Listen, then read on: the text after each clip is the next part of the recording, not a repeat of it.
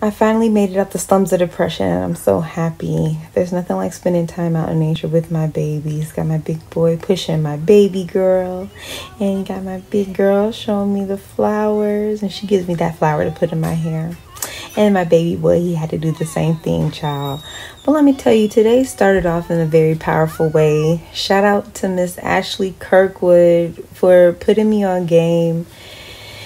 And for helping a sister out because we are helpers one to another. And there's nothing like being a part of nature, being out in nature, enjoying nature, getting fresh air, even though the sun wasn't shining like that. It was the wind that reminded me that I was alive and taking in that fresh air. But I just want to say thank you to my baby boy for giving me a flower. And thank you to my big girl for giving me a flower, even though she does take them away from me. But like I said, she gave me a flower to put in my hair. So that's that's all good. And daddy finally came home and he joined us on our walk and that was so great. Baby girl finally fell asleep.